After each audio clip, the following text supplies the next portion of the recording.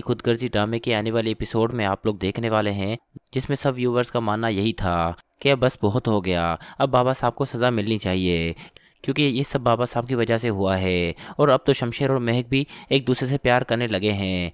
दोस्तों, शमशेर तो पहले ही महक को बहुत चाहता था, बस वो इंतज़ार में था कि कब महक के दिल में मेरे लिए प्यार हो जाए। और दोस्तों, वो घड़ी तो अब आ चुकी है, क्योंकि महक तो अब शमशेर के साथ बहुत खुश है, क्योंकि दोस्तों, आप सब व्यूवर्स ने देखा।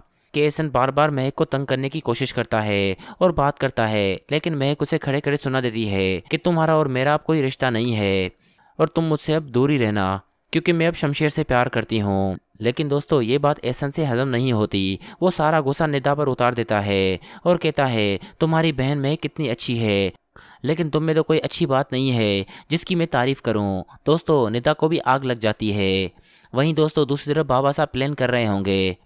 कि किसी तरह शमशेर बस महक को तलाक दे दे। लेकिन दोस्तों, दारा बाबा साहब को समझाने की कोशिश करता है कि बाबा साहब, आप शमशेर को माफ़ क्यों नहीं कर देते? अगर आप माफ़ कर देंगे तो शमशेर घर वापस लौट आएगा, लेकिन बाबा साहब साफ़ इनकार कर देंगे।